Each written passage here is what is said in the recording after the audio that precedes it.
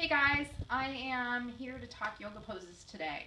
Um, Ashley Reeder had some questions about foot pain and so I'd like to address how to use your feet and your hands in your yoga poses so that you can diminish any potential pain. Now, again, I'm, I'm not a podiatrist, so if you have increased pain that's not relieving itself um, and you are really practicing your yoga poses correctly, then I would go see, you know, I'd go see a doctor. But beyond that, what I teach is to have good posture, good form in yoga. You want to basically think of your foot like a tripod. So the heel and the sides of your foot are going to be where you're going to put more of your pressure with the ball of your foot being there for slight pressure, for balance basically. So if I'm standing in a good mountain pose, I'm going to have my booty tucked in. I'm going to have my hip flexors forward. I'm going to close in my rib cage. I'm going to roll my shoulders back.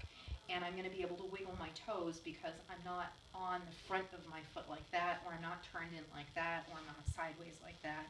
I have good posture with my feet. Notice how my feet are pretty much directly under my hips as well. So that's pretty much what you want to have in terms of a standing pose. And that way too, if I were to go back into a chair pose, now I'm coming back on my heels a little bit more, just like you would for a squat pose. You know, if you're squatting, good squatting technique, we always say would be able to wiggle your toes if, if you're doing a good squatting technique. So now I'm going to show you a warrior pose. The warrior pose, and I'll turn my yoga mat here just a little bit so you can see the side here. Good warrior pose with your feet, you're going to have your front foot, again, just like we talked about, is going to be on the mat. And you're going to have your, you're going to be able to wiggle your toes. Now your back foot is turned sideways. And if you took a measuring stick and measured from the front of my heel to my instep on the back foot, you would have a straight line. You also have 90-90 curves.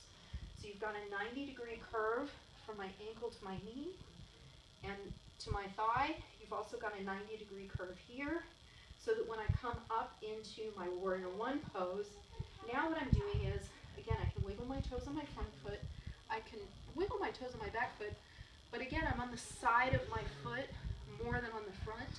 I'm using the ball of my foot for some of that pressure, but for the most part, my foot is taking the pressure on the far side of my foot. And that way I can really sink deeply into that warrior one or open up into warrior two, or even go to bound warrior, or I can go to, I'm sorry, reverse warrior or bound warrior, and I still have a good foot placement. Switching to crescent move, where both of my feet are on parallel lines with each other, if I think about leverage, I'm going to have more stability if I bring my leg out than I am if I bring my leg in. But this is really the proper posture. Now notice how I've engaged my glute here and my heel is pressing back towards the mat. My front leg, I'm pressing down into my thigh. And again, I can wiggle my toes on my back foot and I come up into full crescent pose. Now I'm balanced and I'm able to really extend that stretch out and I'm not putting excessive pressure on the wrong areas of my foot.